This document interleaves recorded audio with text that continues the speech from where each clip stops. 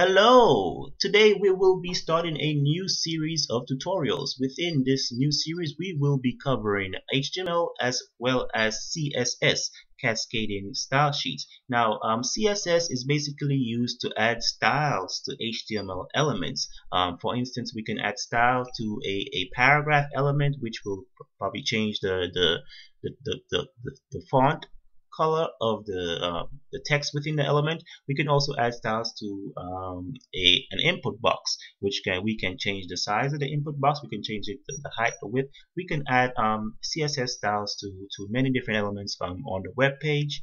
Um, so uh, let's get on with it. Okay, now to to start off with CSS, we need to add a, a style tag to within the head area of the of our web page. So we go style okay open style. First we need to add two style tags.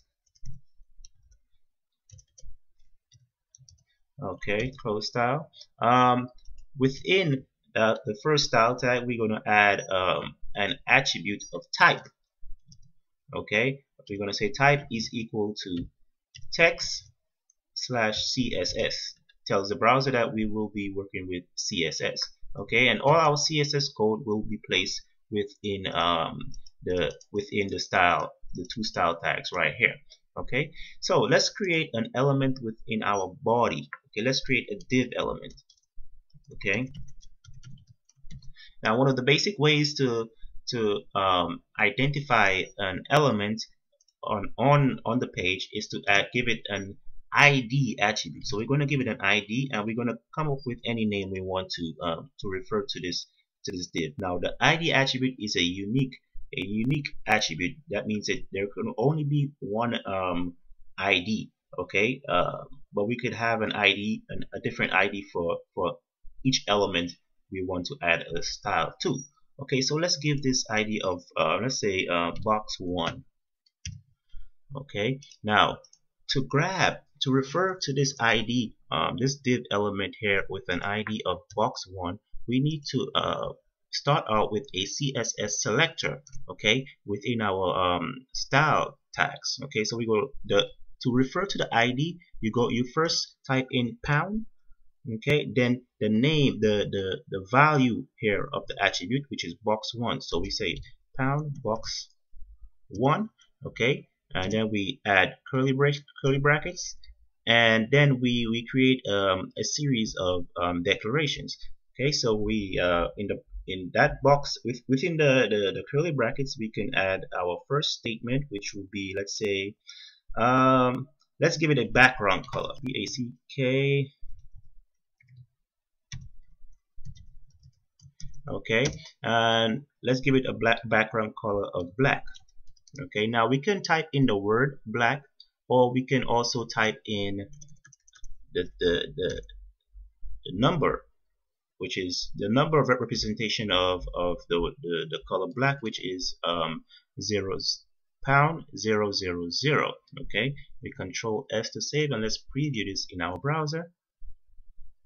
Okay, we need to add text to this to um, as you can see here it didn't show in the browser because we have no text within our um, our div element here. So let's put in some text hello world. Okay? Control S to save and let's go back to our browser. As you can see here the, the let's, let's expand this. As you can see here the div this is the div we, we created. Um, it is displayed in block form because that's the default um, display for any div element. It's displayed in block form right here. Okay and um, we can also and the, the hello world see the hello world is not showing because the the text is black as well However, we can um, add a color to this text. We can say, we can say within our box, um, we can say color, right, to refer to the text um, within the element. And we can say we could give the color of white, um, which is FFFF, 6Fs. Okay, Control S to save. Let's preview this. As we can see here, hello world, the text is um, displayed in white okay we could add a size to this div. Let's go width.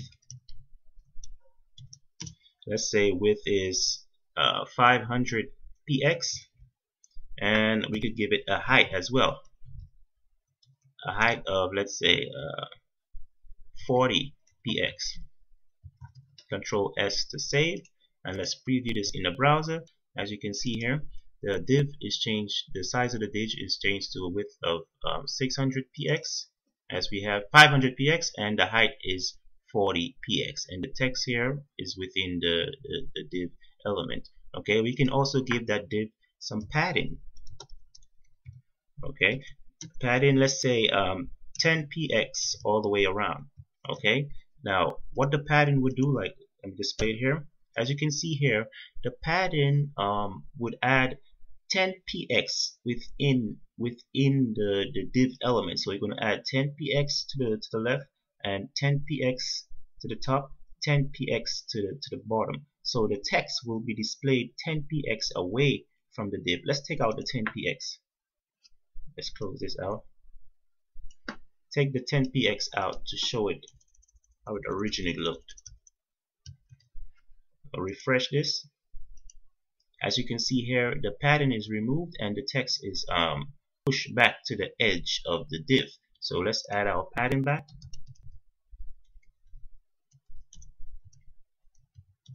Okay control S to save.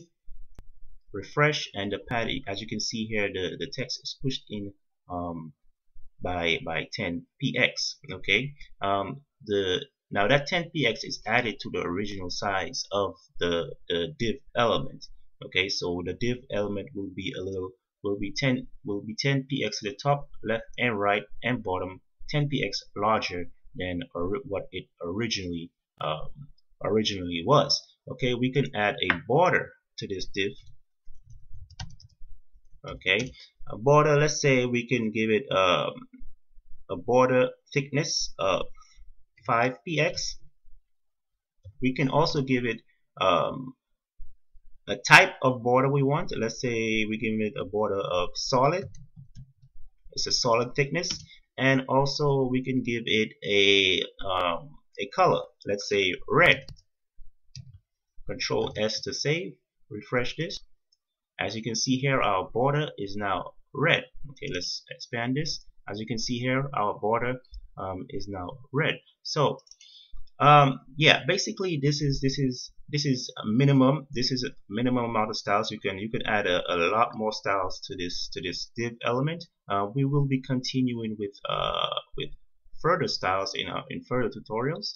Okay so but I'm gonna end here for this tutorial um, thank you this introductory tutorial and thank you for watching and do continue to view the tutorials and please ensure that you do subscribe. Thank you